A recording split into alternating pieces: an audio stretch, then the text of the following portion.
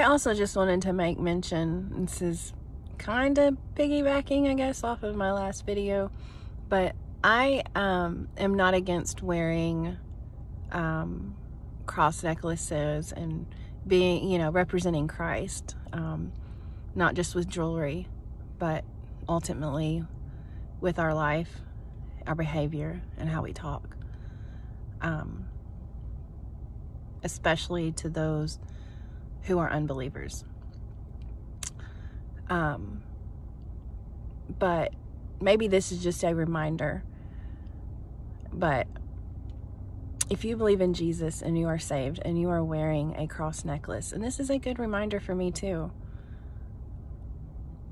you are representing Jesus Christ. You are wearing a symbol of Christ, which is the cross that he died and shed his blood on for you. You're wearing that around your neck or around your wrist as a bracelet, whatever. Or maybe it's tattooed on your body somewhere. But you're living like hell. You're living in sin. I would take the jewelry off. Because we are ambassadors of Christ, we are representatives of Christ, and our behavior and how we live should we should follow suit. I'm not saying be perfect. No one's perfect. If we were perfect, then why would God come? Why would he come in flesh form and save us from ourselves if we were perfect? But he was made perfect for us.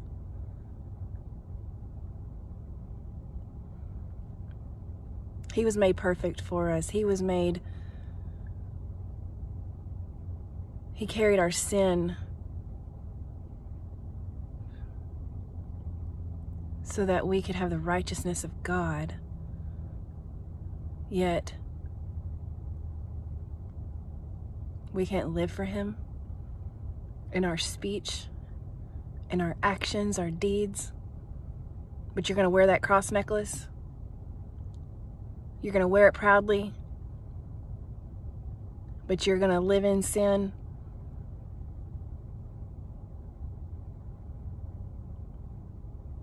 What does Jesus dying on the cross mean to you?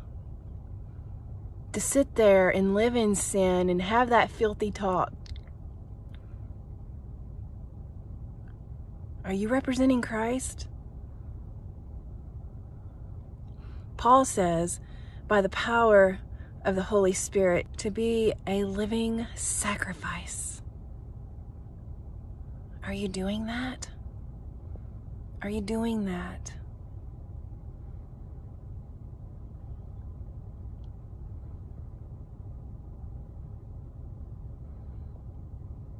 That's it.